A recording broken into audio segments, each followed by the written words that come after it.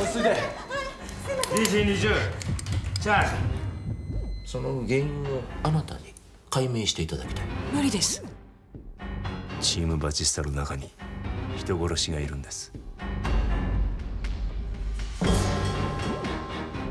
私の腕が短くなるかもしれない。事情聴取ってわけですか。こんな茶番に付き合うことないよ。麻酔は奴隷だよ。実際仕切ってるのは桐生先生と俺だよ。健康心配を回す時はトラブルがあってはならない急に嘘泣きは大変ですか。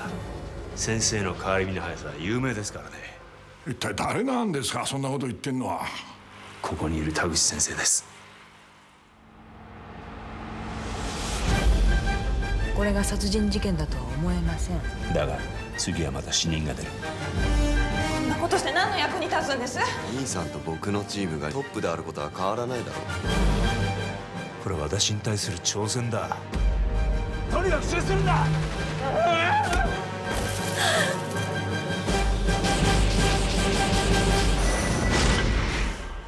チームバチスタの栄光。この謎を解くのはあなた。あなた。何やってんすか？